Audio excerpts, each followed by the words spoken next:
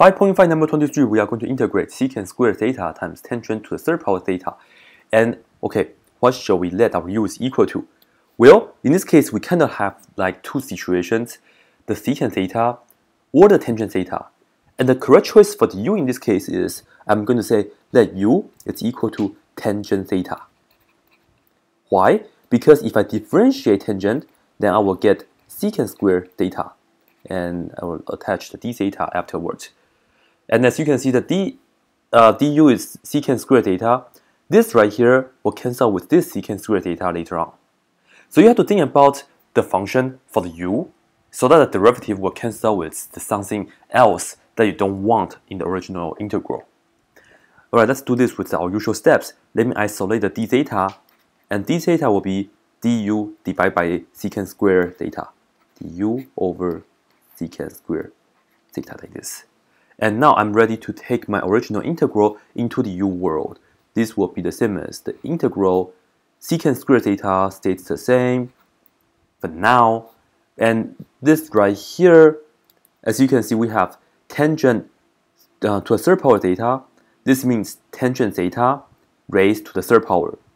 And tangent theta, it's u in the u world, so it's the same as saying multiplied by u raised to the third power, like this.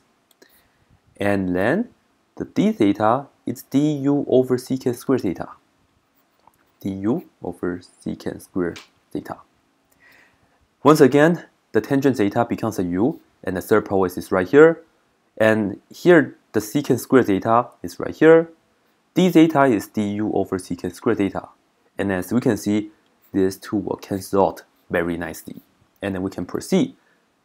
This integral will be just the integral of u to the third power du.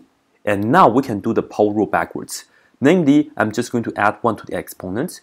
3 plus 1 is equal to 4. And I'm going to divide by 4, which is the same as multiply by uh, a fourth.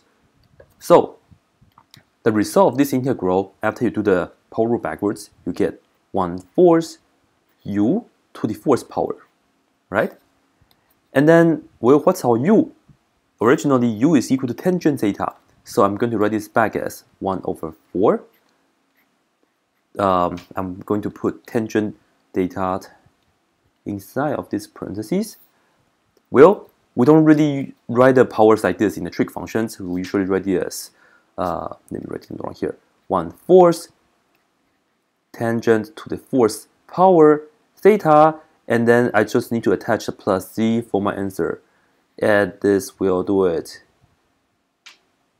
That's it.